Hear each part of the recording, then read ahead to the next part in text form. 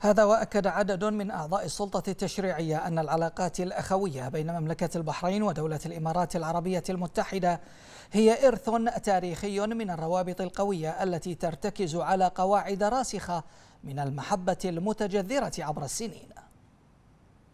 في الواقع في هذه المناسبة أيضا آه، يسرني أن أتقدم لدولة الإمارات قيادة وشعبا أيضا بمناسبة مرور الخمسين عام على تأسيس دولة الإمارات وهي مناسبة عزيزة.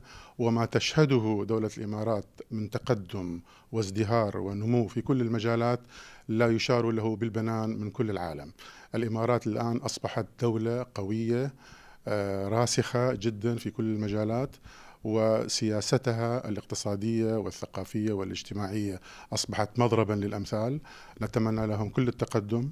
من ناحية أخرى العلاقات البحرينية الإماراتية على المستوى التشريعي أيضا علاقات قوية جدا. هناك الكثير من الزيارات المتبادلة وما يشهد على ذلك الزيارة الأخيرة لمعالي رئيس المجلس الوطني الاتحادي آه، سعادة الأخ صقر غباش. لهي دليل على عمق العلاقات في هذا المجال. بداية يسرني أن أرفع أسماء آيات التبريكات إلى قيادة وشعب الإمارات العربية المتحدة وأهنهم باليوبيل الذهبي لتأسيس هذا الكيان الحبيب على قلوبنا نحن في مملكة البحرين قيادة وحكومة وشعبا طبعا هذا اليوم هو يوم تاريخي لأنه ليس فقط يوم استقلال الإمارات ولكن أيضا يوم تكوين هذا الاتحاد الذي أثبت بأن هذه هذه الدولة الفتية استطاعت خلال خمسين عام أن تنجز الكثير وأن تكون محط أنظار دول العالم. بمناسبة ذكرى العيد الوطني لدولة الإمارات العربية المتحدة أتقدم بأسمى آية التهاني والتبريكات لقيادة وشعب الإمارات العربية المتحدة الشقيقة. ولا يفوتني إلا أن أترحم على باني دولة الإمارات صاحب السمو الشيخ زايد بن سلطان آل نهيان طيب الله ذراه.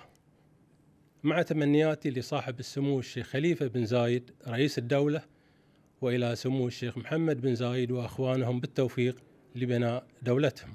الإمارات والبحرين بلد واحد، ما يربط الإمارات بالبحرين آه، روابط أخوية مستقرة سياسية شعبية وهي نموذج أصلا للعلاقة بين بين كل البلدان العالم. آه، لذلك هذا اليوم الوطني الإماراتي هو يوم بمعنى الكلمة للبحرين ولكل بحريني وهي مناسبة عزيزة على قلوبنا جميعا ونهنيهم إلى مزيد من الازدهار والتوفيق يا رب.